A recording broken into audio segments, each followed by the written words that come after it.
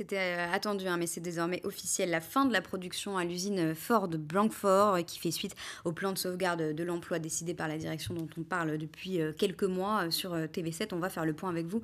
Philippe Poutou, merci d'être avec nous hein, sur, sur ce plateau. On rappelle que vous êtes donc représentant délégué syndical de la CGT pour, pour Ford. on imagine que ce sont bien sûr des, jours compliqués pour vous et pour, pour les salariés de l'usine. Racontez-nous alors comment ça s'est passé cet été à l'usine. Que la fin de l'activité a été euh, assez brutale. Bah, ça a été devancé, oui. Bon, on savait que c'était euh, fin juillet, début août. Euh, c'était programmé depuis longtemps de cette manière-là. Et la direction de Ford a décidé d'avancer de quelques jours, d'une semaine, un peu plus d'une semaine. ça a été annoncé un matin. Ouais, c'est même pas la direction elle-même qui l'a annoncé. Ça s'est pas fait par écrit, ça s'est pas fait par annonce officielle. Ça s'est fait par les chefs et les petits chefs. Donc évidemment, ça a surpris du monde. Et le problème, surtout, c'est pas tant que ça changeait la situation fondamentalement, puisque bon, bah, c'était une semaine à dix jours d'avance. Mais c'était que plein de collègues avaient prévu des repas, une manière de se dire au revoir, une manière de finalement de rendre un peu la situation euh, moins dure. Et puis voilà, la direction a court-circuité ça. Donc oui, ça en a mm. rajouté à l'écœurement, puisqu'en fait, Ford se comporte comme il se comporte depuis le début. Quoi. Ils se moquent de tout le monde, ils font pas de sentiments. Et puis là, pour, pour euh, certainement parce qu'ils en avaient un peu marre, parce que c'est vrai que ça a bossé de moins en moins. Les chiffres de production étaient de moins en moins atteints, ce qui est complètement normal en fait, hein, quand on voit qu'on est viré dans peu de temps. Et ça a un peu énervé la direction, puis qui a dû décider, on ne sait pas trop pourquoi, comment, euh, a décidé, bon allez hop, c'est fini, allez tout le monde à la maison, puis voilà. Donc bon, maintenant le problème pour nous reste le même, hein, c'est est-ce qu'on a encore une possibilité de sauver quelque chose et d'empêcher des licenciements? C'est pour ça que la bataille continue de notre côté. Alors la bataille continue. On a vu que les, collectivités hein, cet été ont continué à dénoncer euh, d'une voix commune d'ailleurs euh, la façon d'agir de Ford. Ça, ça a servi à quelque chose ou... Ben non, mais ben, ils ont l'air de, de, se cantonner à ça. Quoi. Ça fait un petit moment qu'ils s'indignent, qu'ils qui se plaignent, qu'ils dénoncent euh, par écrit, effectivement, ou oralement. Mais bon, après, le problème, c'est que là où ils peuvent agir, ben, ils ne le font pas.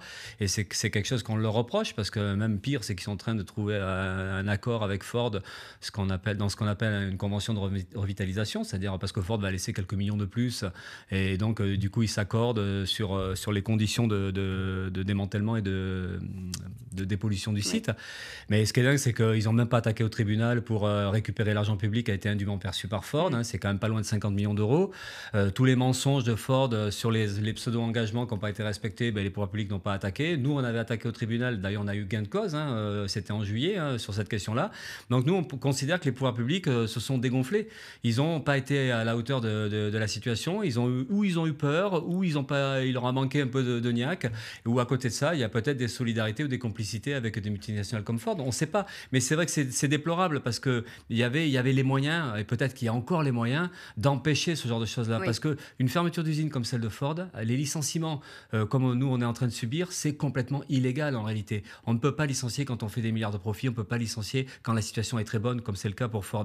Donc on essaie, nous, de, de, de, rappeler qu'il y a des lois, de rappeler qu'il y a une législation et qu'on a les moyens aujourd'hui, en réalité, d'empêcher la multinationale de Ford de faire comme ça. Ah. Donc on est un peu seul en justice et c'est ce qu'on reproche au pouvoir public, c'est cette incapacité qu'ils ont eue de, de, se battre et d'être avec nous jusqu'au bout. Et ils ont lâché prise. Alors justement, hein, vous, vous êtes euh, en justice, vous l'avez dit, parce qu'il euh, y a un procès qui est toujours en cours, dont l'issue doit, doit, être rendue le, 17 septembre, là, dans quelques jours.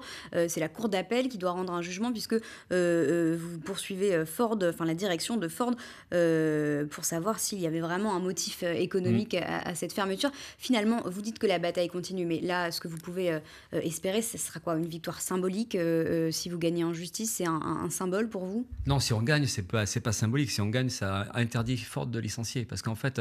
vous pensez que Ford pourrait revenir en arrière, là, alors que. Ben, la par la, par la force de la loi, euh, il ne pourrait mm. pas licencier. C'est ce que nous, on cherche à, obtenir, effectivement. Alors, euh, l'espoir, il est peut-être un peu dingo. Hein. C'est-à-dire qu'en fait, est-ce que la justice va oser faire ça? Ce que, ce que le gouvernement n'a pas osé faire, ce que l'État n'a pas fait, ce que les collectivités territoriales n'ont pas fait, du, point de vue du combat et de la confrontation avec Ford, est-ce que la justice va oser le faire?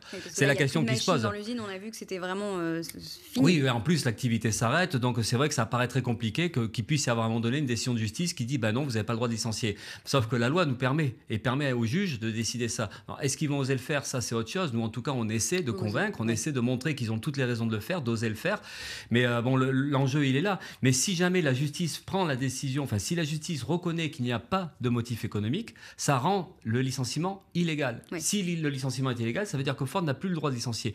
En fait, ce qui se passe pour nous à Ford, c'est le même problème qui peut se poser à Auchan, à Carrefour ou à General Electric pour parler de l'actualité, hein, ou des grosses boîtes, des grosses sociétés multinationales qui font plein plein de profits et qui osent quand même licencier et fermer. En réalité, ils n'ont pas le droit de le faire. Nous, on veut juste faire reconnaître que ce droit-là, il n'existe pas. C'est pour ça qu'on attaque sur l'abus de droit de propriété et qu'on défend aussi la question du droit à l'emploi et que c'est trop facile aujourd'hui de, que ça se passe comme ça. Donc on essaie d'empêcher ça et la bataille qu'on mène, c'est ça là. Quoi. Voilà, la bataille devant la justice. Euh, qu'est-ce que vous allez devenir, vous, euh, Philippe Poutou, par exemple? Vous êtes un salarié de, de Ford Blancfort depuis plusieurs années. Euh, imaginons que cette bataille en justice, elle se termine pas bien pour vous et que le licenciement se poursuive. comment vous envisagez la suite? Mais pour l'instant, on n'envisage pas du tout. Je dis on là pour le coup parce qu'on est quand même quelques camarades, quelques collègues à essayer de, résister jusqu'au bout et à essayer de ne pas tirer un trait sur, sur la fin de l'usine, sur cette idée qu'on a perdu notre emploi. Donc on continue à batailler. Le jour où on reçoit la lettre de licenciement, si on la reçoit, là, on sera obligé de se poser la question de qu'est-ce qu'on fait, qu'est-ce qu'on cherche, est-ce qu'on se forme ou pas. Bon, c'est ce qu'on appelle le reclassement. Mais là, pour l'instant, on n'en est pas là. C'est pour ça j'insiste quand même sur, sur une bataille qu'on mène jusqu'au bout. Il nous reste un mois. On a une manifestation unitaire le 21 septembre avec des syndicats, des collectifs Gilets jaunes, avec les urgences en lutte. On essaie de voir comment on peut construire ensemble une bataille pour la défense des emplois. On a le concert de solidarité euh, au Krakatoa le 21 septembre où Kali revient avec des humoristes, des artistes. Enfin, on est assez content qu'il y ait cette solidarité-là qui s'exprime entre artistes et, euh, ouvriers. Et puis on a le jour du, jugement, un rassemblement. Enfin, on essaie de construire quelque chose, une résistance collective et qui essaie de, sensibiliser la population sur le fait qu'on n'a pas intérêt à baisser la tête parce que si on baisse la tête, si l'usine Ford disparaît, derrière, de toute façon, c'est l'usine de Guetra qui est menacée. Et derrière, c'est plein d'emplois qui disparaissent de toute façon. Comment on stoppe cette machine infernale? Comment on arrive à un moment donné à faire que nous, simples salariés, simples petites personnes, on arrive à un moment donné à s'opposer à des logiques destructrices?